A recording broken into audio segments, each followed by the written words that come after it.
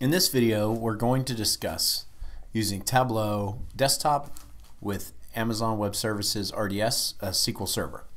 So in order to hook up Tableau Desktop to AWS RDS, we need to do a couple things. First off, we need to validate that we have a SQL Server instance running in the RDS inside of AWS.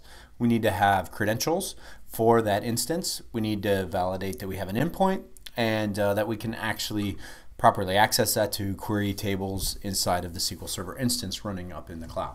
So in order to do that, we can first go to the console, check our instances and make sure that we have a SQL Server instance running. In this example, you can see I'm just using SQL Server Express. We can scroll down and get an endpoint.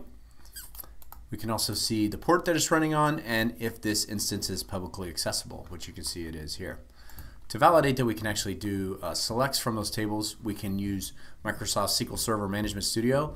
We can connect to the database using the endpoint and the credentials provided, and then we can just test out that we can do a select from a given table. And so you can see as we as I have done here, not a problem, can do a select star from this customer table and return all of this information. So next we will go to Tableau Desktop, and we're going to connect to a server here.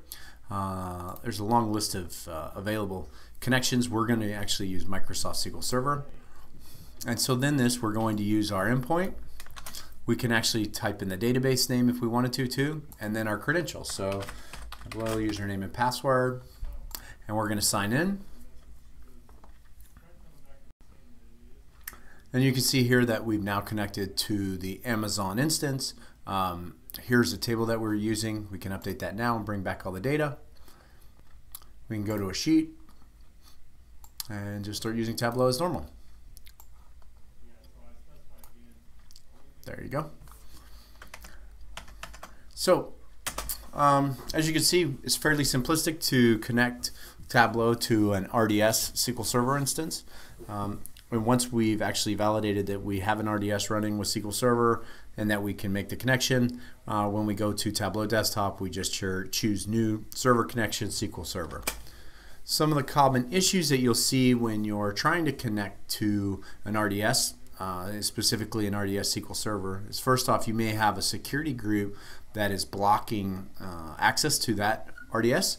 So you want to check that if you're unable to make a connection. You may have some uh, issues with your network ACLs. You might also just have a general credential problem. So usually, the username and password you're trying to use is not going to allow you to have access to that uh, database. Um, and lastly, you may have a firewall problem that on your end is blocking uh, the ports or is blocking communication to AWS um, or the specific RDSs as well. So thanks for your time.